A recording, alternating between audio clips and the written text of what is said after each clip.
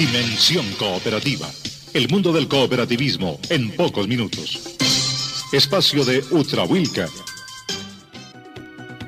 En ningún sitio aprendí tanto de mí y de los demás como en la cancha. Jorge Valdano, exfutbolista y ex entrenador argentino. Oyentes en los departamentos del Huila, Caquetá, Cauca, Putumayo y Tolima. Por supuesto, aquellos que nos escuchan a través de nuestras redes sociales. Con gusto los acompaña Adriana María Gutiérrez Forero. El pasado sábado, gracias a la alianza colaborativa con los centros comerciales, estuvo presente en nuestra red de mercados campesinos en el centro comercial único outlet de la ciudad de Neiva. Sandra Juliet Medina Aragonés, coordinadora de mercados, explicó la estrategia. Nosotros desde la Fundación Social Ultrahuilca y la Cooperativa Ultrahuilca lo que estamos desarrollando y generando pues es visibilizar esos emprendimientos y visibilizar a nuestros campesinos en los espacios en que se pueda.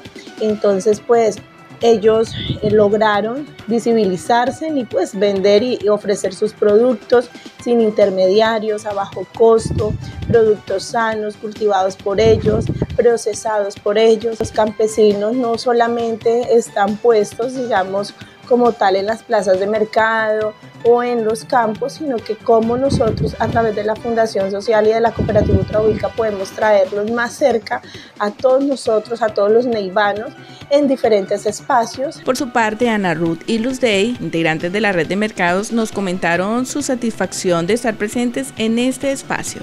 Ana Ruth Vargas, muy bueno, muy bueno, y porque pues vamos a explorar otras experiencias y y eso es bueno. Luz Day Cabrera, a mí me parece excelente estar aquí ofreciendo nuestros productos de mercado campesino, productos orgánicos como tenemos nosotros. Ojalá se repitan cada vez porque esto es una ventana para también nosotros ir al mercado campesino que está ofreciendo Ultra cada 15 días. Entonces a los clientes que vienen siempre lo estamos diciendo, visítenos el mercado campesino de Ultra Cada 15 días nos encuentran a nosotros.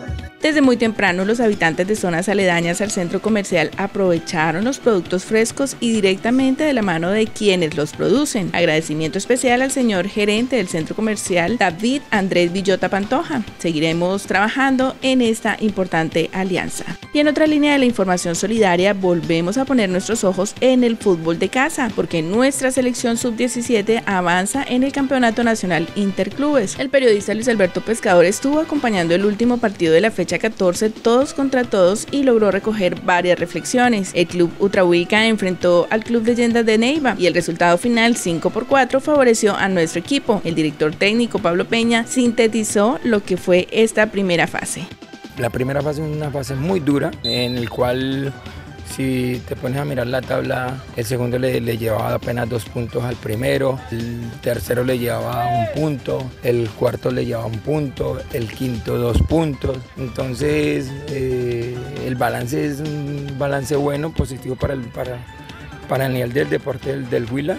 El director técnico también analizó lo realizado en el compromiso y reconoció que lo que viene no está fácil. Arrancamos el partido y hombre, y vamos, marcamos lo más difícil que era el gol. En menos de 10 o 8 minutos hicimos el gol.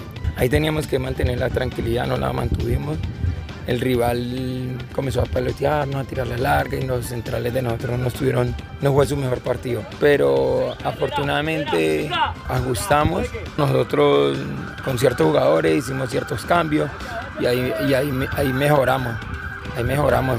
Cuando la hicimos, eh, creo que el equipo mejoró y se vinieron los, los goles que nos han dado la tranquilidad.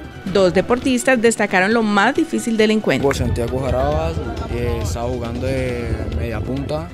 Yo digo que los momentos de desespero, cuando hacían un gol, nosotros lo empatábamos, después nos hacían otro y nosotros empatábamos. Lo hacíamos y empatábamos. Ya lo último fue que íbamos empate y todo, cada quien se tranquilizó y ya terminó el resultado.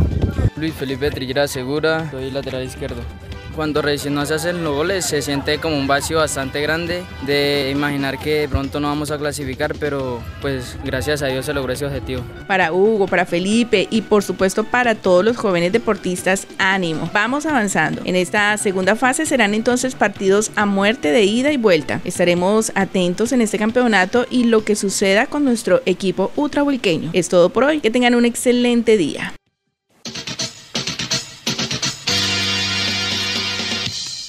Hemos presentado Dimensión Cooperativa. Espacio de Ultrahuilca. Vigilada Super Solidaria.